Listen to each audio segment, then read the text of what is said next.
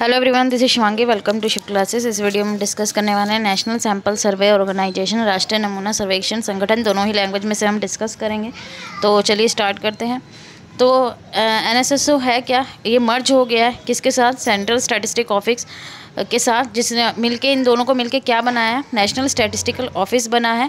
जो merger approve किया गया था गवर्नमेंट के द्वारा, वो कब किया गया था? ट्वेंटी थर्ड मई ट्वेंटी को।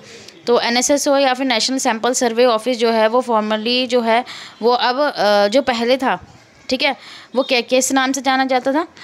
नेशनल सैंपल सर्वे ऑर्गेनाइजेशन ये लार्जेस्ट ऑर्गेनाइजेशन है इंडिया की जो रिस्पॉन्सिबल है किसके लिए?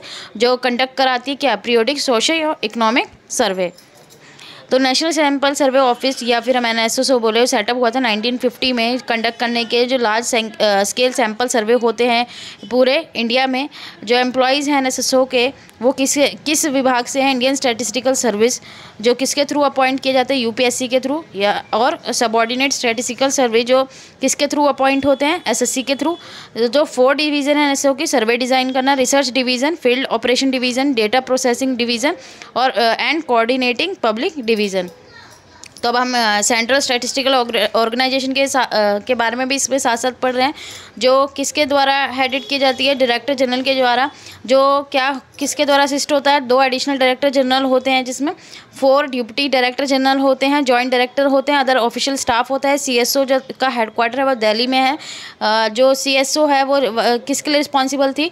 Coordination of statistical activity in the country क्योंकि अब सी एस ओ और एन मिल के क्या बन गए हैं? National sample survey office.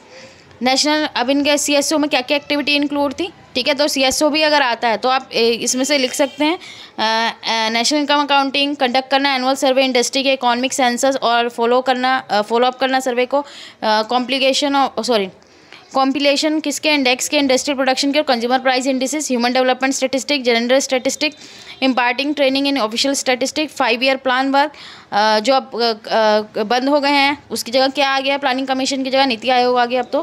Presently this two organisation N S S O और जो सी एस ओ है, वो मर्ज होके न्यू ऑर्गेनाइजेशन बन गए क्या? National statistical office N S O बन गए हैं, ठीक है? That will presumably be responsible for the task done by C S O and N S S O ठीक है, जो सी एस ओ के द्वारा एन एस ओ के द्वारा किए जाते थे। अब जो नेशनल स्टेटिस्टिकल ऑफ़िस है, वो हम देख लेते हैं। तो वो कब एग्जिस्टेंस में आया? भाई C S O N S S O मिल के एन एस ओ बन गया।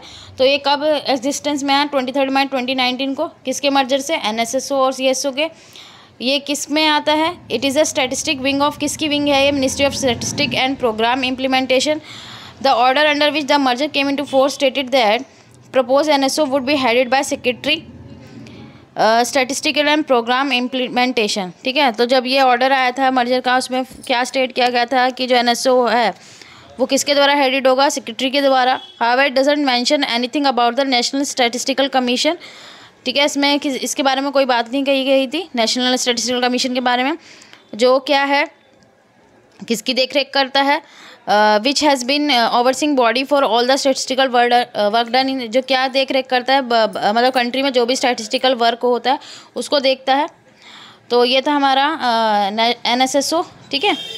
तो आई होप आपको क्लियर हो गया होगा। अगर वीडियो अच्छी लगी तो like it share it and subscribe my channel thank you